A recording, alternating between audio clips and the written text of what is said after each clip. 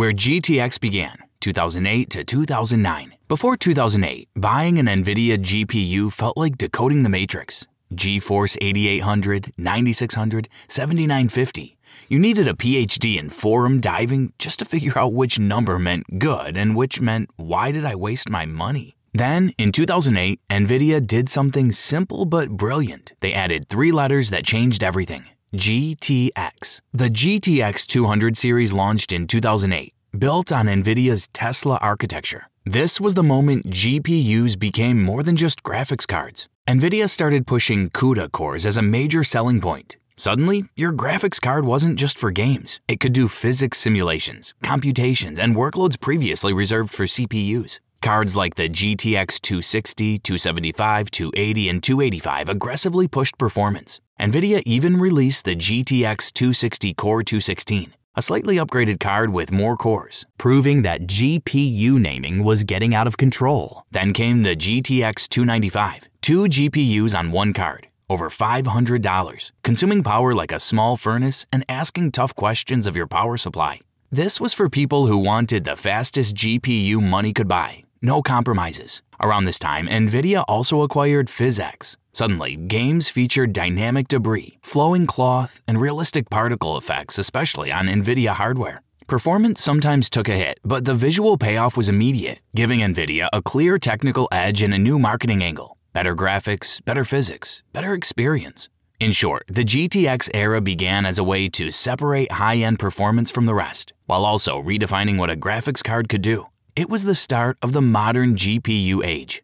The Space Heaters, 2010 to 2011. In 2010, NVIDIA launched the GTX 400 series with one clear philosophy performance first, your comfort never. Cooling? Optional. Noise? Also optional. Power efficiency? NVIDIA hadn't even heard the term. The GTX 480 didn't just run hot, it became a legend for the wrong reasons. With a TDP pushing 250 to 300 watts, it turned gaming sessions into sauna sessions. Your PC case became a space heater, your room temperature climbed, and the fan noise? Jet engine preparing for takeoff. People joked about frying eggs on it. They weren't entirely joking. The rest of the 400 series followed the same theme. GTX 470 and 465 pulled the heat and noise back a little, but not enough to call them quiet or easygoing. Then came a surprise the GTX 460. Finally, cooler, more efficient, and still delivering solid performance. It became a safe recommendation. No more will my room melt worries. No extreme airflow required. By 2011, NVIDIA had learned its lesson.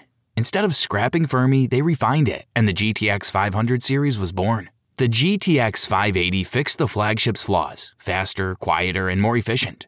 It finally delivered top tier performance without feeling like it might explode. The GTX 570 offered similar benefits with slightly lower power draw, and the GTX 560 Ti emerged as the mid range hero. Solid performance, overclocking potential, and none of the drama that had haunted the 400 series. For the first time in years, NVIDIA had a GPU line that felt performant and reasonable, powerful, but without making your PC case, power supply, or patience suffer. NVIDIA finally gets it right, 2012 to 2013. 2012 brought the Kepler architecture and the GTX 600 series, and suddenly NVIDIA felt like it had a clue. The flagship GTX 680 didn't just outperform the previous generation, it did so quietly, efficiently, and without turning your PC into a mini space heater. For the first time in years, buying a flagship card didn't feel like a compromise. Kepler's real game changer? GPU Boost. Instead of locking your GPU to a fixed clock speed, Kepler dynamically boosted performance whenever thermals and power allowed. In other words, your GPU started overclocking itself, often better than most people could do manually. The rest of the GTX 600 lineup followed the same philosophy. GTX 670 offered near flagship speeds for less money. GTX 660 Ti and 660 covered the mid range. And even entry level cards finally felt balanced and efficient. At the top, the GTX 690 reminded everyone NVIDIA could still go absurd when it wanted. Dual GPUs, outrageous power draw, sky high price, and mostly unnecessary but absolutely spectacular. Then came a surprise the original Titan. Priced at $999, Titan wasn't meant for your average gamer. It blurred the line between gaming and workstation cards, offering massive memory and unlocked performance. Suddenly, a single GPU could serve both developers, content creators, and enthusiasts. A prosumer card before that was even a category. Kepler didn't stop there. In 2013, NVIDIA refreshed the architecture with the GTX 700 series, refining what already worked. The GTX 780 and 780 Ti pushed high-end performance even further, while the Titan Black doubled down on the idea that one GPU could do almost everything, if you were willing to pay for it. Mid-range cards hit the sweet spot too. The GTX 760 became a household name, striking the perfect balance of price, performance, and efficiency. And the GTX 750 Ti quietly hinted at the next revolution Maxwell architecture. Quick question Which NVIDIA generation was your first? GTX 400 Space Heater, GTX 1060 Workhorse, or did you skip straight to RTX? Drop it in the comments, I'm genuinely curious. And if you're finding this trip down GPU memory lane helpful, hit that like button. It actually helps more people discover these videos. The Efficiency King, 2014 to 2016. Maxwell was NVIDIA finally learning how to be both smart and strong. At the budget end, the GTX 750 Ti seemed almost magical in 2014 drawing just 60 watts and requiring no external power connectors. It could run straight from a motherboard slot. For small form factor builds or budget rigs, it was revolutionary. A tiny card that played modern games without forcing you to upgrade your PSU. Efficiency had found its poster child. Humble in size but mighty in impact. At the high end, Maxwell showed NVIDIA had refined its formula to near perfection. The GTX 980 Ti, priced around 650 bucks, delivered performance nearly matching the Titan X, but without the outrageous price tag. Powerful, efficient, and drama-free. It didn't fry rooms like Fermi or intimidate cases like Kepler's dual GPU monsters. Then there was the GTX 970, arguably Maxwell's most famous card. It hit the sweet spot of performance, price, and power draw, becoming the best-selling card of its generation. Gamers loved it, until the VRAM controversy surfaced. Advertised as 4 GB, only 3.5 GB ran at full speed, while the remaining 0.5 GB was slower, leading to occasional performance quirks. It wasn't catastrophic, but it mattered. People noticed, reviews got heated, and the 970 became as infamous as it was beloved. Maxwell also marked a turning point for VR readiness. Cards like the 970 and 980 had enough horsepower to drive early VR headsets smoothly making Maxwell the generation that truly opened high end gaming to virtual reality. The rest of the lineup, GTX 960, 950, and the Titan X, reinforced Maxwell's core lesson efficiency wasn't a bonus, it was a priority. Finally, you could build a high end gaming PC without needing industrial grade cooling or a backup generator just to power your GPU. The GOAT generation, 2016 to 2018. Pascal isn't just a generation, it's the generation people still measure everything against in 2025. Here's how you know a GPU generation was special. People still refuse to upgrade from it years later. That's Pascal. It wasn't just another GPU release. It was the generation that redefined what good enough meant for nearly a decade. The flagship of the era, the GTX 1080 Ti launched in 2017 and it remains legendary. Even eight years later, some gamers and enthusiasts still benchmark it. Its combination of raw power, efficiency, and reasonable thermals made it the longest-lived flagship NVIDIA has ever produced. For a generation, this card didn't just compete, it dominated, quietly teaching future GPUs what staying power really meant. Below it, the GTX 1080 and GTX 1070 continued the trend. Compared to Maxwell, Pascal delivered a 60 to 80% performance jump, making mid-range and high-end builds feel like rocket ships. Gamers who upgraded from 900 series cards immediately noticed the difference, and performance per watt had finally caught up with expectations set back in the Fermi days. The GTX 1060, particularly the 6GB model, became the crown jewel of the mid-range. It hit the perfect balance of performance, efficiency, and price. And for over four years, it was the number one GPU on Steam. Millions of gamers around the world built their rigs around it, making it perhaps the most successful NVIDIA card of all time. Even the smaller cards had their moments. The GTX 1050 Ti pulling just 75 watts became the go-to choice for esports setups. It didn't need an external power connector, didn't heat rooms, and could run competitive titles without breaking a sweat. Pascal showed that efficiency and strong performance weren't just reserved for the flagship anymore. Of course, no Pascal story would be complete without mentioning the 2017 to 2018 crypto mining boom. Demand for GPUs exploded, and suddenly mid range cards like the 1060 were selling for two to three times their MSRP. Gamers had to fight tooth and nail to get one, while mining rigs gobbled up every card on site. It was chaotic. It was frustrating, but it cemented Pascal's reputation as a performance workhorse. At the very top, the Titan X Pascal and Titan XP catered to prosumers and creators. They were expensive, massive, and absurdly powerful. But they also hinted at NVIDIA's continued interest in bridging gaming and professional workloads. The last GTX cards ever made, 2019. By 2019, NVIDIA was on the cusp of a new era. The RTX 20 series had arrived with ray tracing cores, fancy marketing, and prices that made many gamers wince. Not everyone could afford it. Enter the GTX 16 series, the final generation of GTX cards.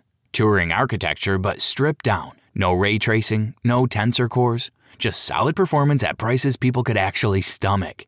It was like giving gamers a consolation prize, except the prize turned out to be surprisingly good.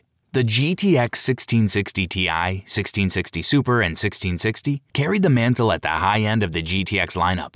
The 1660 Super, priced around $229, became the best value card of 2019. It hit a sweet spot in performance, efficiency, and cost that made it a favorite for mid range gamers and anyone who didn't want to mortgage their house for an RTX 2060. Below it, the GTX 1650 carved out a new budget throne. It came in several flavors GDDR5, GDDR6, Super, and became the default recommendation for compact builds, casual gamers, and esports setups on a shoestring budget. It didn't make headlines, but it did its job exceptionally well. Then there was the GTX 1630, which arrived quietly in 2022. It was a weird late addition nobody really asked for. Not powerful, not expensive, just there. A minor footnote in an otherwise solid generation. In early 2024, NVIDIA made it official. The GTX lineup was dead. No more new GTX cards, no more budget friendly alternatives. The era that began with the GTX 200 series in 2008, 16 years of dominance, had quietly come to an end. GTX didn't die because it was bad. It died because NVIDIA decided the future was RTX, and everyone else could either pay up or get left behind. Ray tracing takes over 2018 to 2022. 2018, NVIDIA tried to sell us the future before the future existed. The RTX 20 series introduced ray tracing cores, tensor cores, and DLSS 1.0, tech that promised movie quality lighting and reflections in real time. On paper, revolutionary. In practice, a disaster. Ray tracing killed your frame rates. DLSS 1.0 made games look like someone smeared Vaseline on your monitor and almost no games even supported it at launch. Gamers paid hundreds of dollars extra for features they couldn't actually use. It was like buying a sports car that could only drive 30 miles per hour. Meanwhile, the GTX 16 series quietly outsold RTX 20 cards. Gamers weren't buying gimmicks, they were buying performance they could actually use, at prices that didn't require a second mortgage. RTX looked flashy, but it was a solution to a problem few had yet. Then Ampere arrived in 2020, the RTX 30 series fixed almost every issue. DLSS 2.0 gave huge performance gains. Ray tracing finally ran well, and games started shipping with proper support.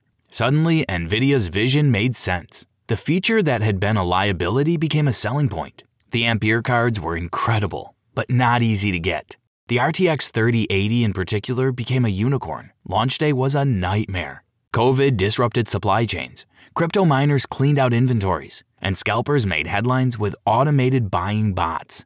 For years, actually buying a top tier Ampere card felt like a lottery. Still, when people finally got their hands on these GPUs, the difference was clear. The RTX 3090 and 3080 Ti pushed performance and memory to unprecedented levels. Mid range cards like the 3060 Ti and 3070 delivered incredible value and proved that ray tracing didn't have to be a luxury feature anymore. By 2022, the RTX series had firmly established the new standard. Games looked better, ran smoother, and NVIDIA's gamble on hardware accelerated ray tracing finally paid off. Where we are now, 2022 to 2025. Fast forward to today, and NVIDIA has gone completely all in on RTX. The GTX era is officially over, and the RTX 40 and newly announced 50 series are the only path forward.